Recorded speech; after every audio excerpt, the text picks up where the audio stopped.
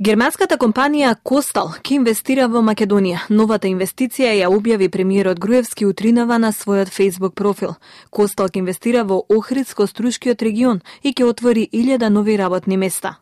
Вие знаете дека може да верувате на нашиот збор дека се реалности имаат кори за народот. По гентерни Капкон, Костел е трета инвестиција во само 7 дена. Објава за 2500 нови работни места за само една недела. Нашата борба за секое ново работно место продолжува напиша Груевски на својот Facebook профил. Костел е независна компанија со седиште во Германија.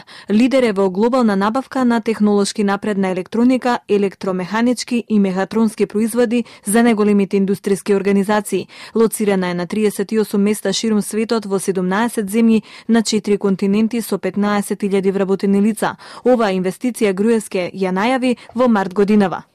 Ова попладне, малку пред почетокот на овој собир, од моите соработници ја добив информацијата дека една друга компанија исто така од Германија денеска донесе одлука да изгради фабрика за делови за автомобилска индустрија овдека во Охридско-Струшкиот регион.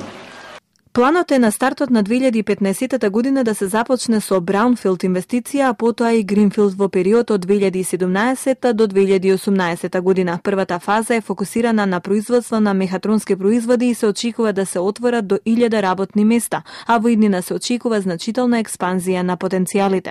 Со задоволство ги објавуваме нашите планови за зголемување на производствените капацитети во Европа преку инвестиција во Македонија и двете страни се посветени на финализација на договорот кој се очекува да Да се комплетира во јануари 2015 година.